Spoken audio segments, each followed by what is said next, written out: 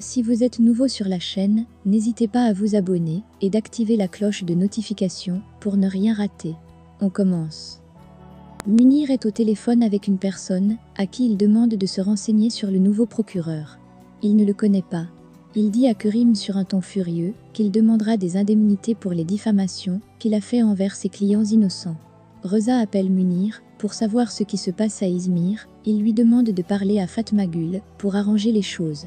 Mais cela ne ferait qu'aggraver notre cas, lui répond-il.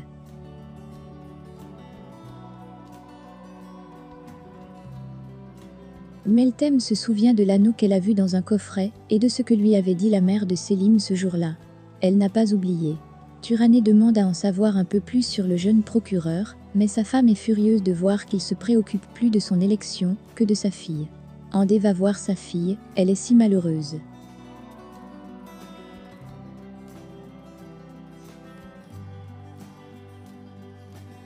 Les accusés, Selim et Erdogan arrivent au bureau du procureur. Munir tient Reza informé de tout ce qui se passe. Erdogan accuse Kerim d'être un sale menteur, une crevure, une ordure. Il l'a même traité de bâtard parce qu'il a traîné son nom dans la boue.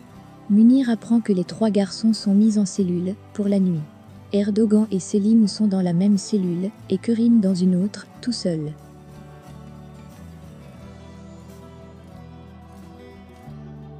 Reza prépare une éventuelle confrontation et un plan de défense.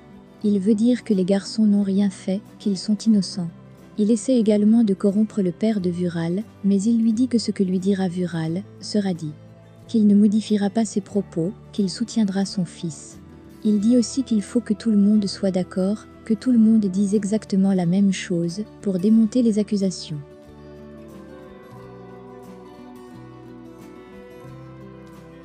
L'aimant est d'accord avec Reza, elle est prête à suivre ses instructions et conseille à son mari d'en faire autant. Pendant ce temps, Vural s'est réveillé à l'hôpital. Erdogan continue à provoquer Kerim dans la cellule.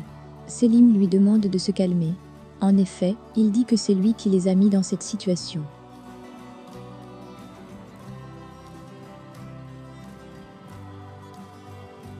Mustapha dit à Assud que Fatmagul a tout raconté à la police et qu'ils sont aux arrêts. Il s'inquiète de savoir ce qu'il va dire s'il est convoqué. Quand Assud dit à Mustapha que ses parents sont venus lui proposer de l'argent pour qu'elle le quitte, Mustapha n'a pas de réaction. En même temps, Assud lui annonce qu'elle est enceinte. Oh là, le regard méchant de Mustapha en entendant cette nouvelle.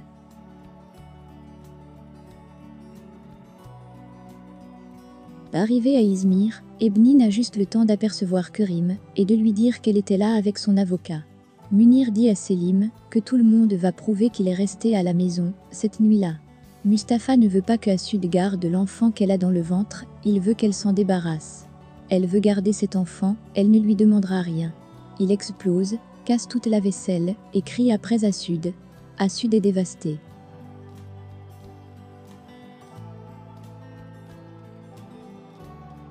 Le procureur dit à Munir que personne ne fera pression sur lui, qu'il est inutile d'envisager une corruption possible.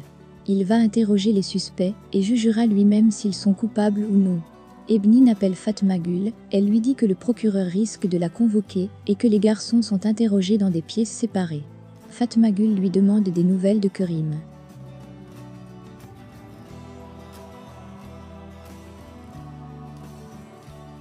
Erdogan raconte qu'il était chez lui, que sa famille peut le prouver, et que Kerim est venu lui dire le lendemain matin ce qu'il a fait, qu'il avait besoin d'aide.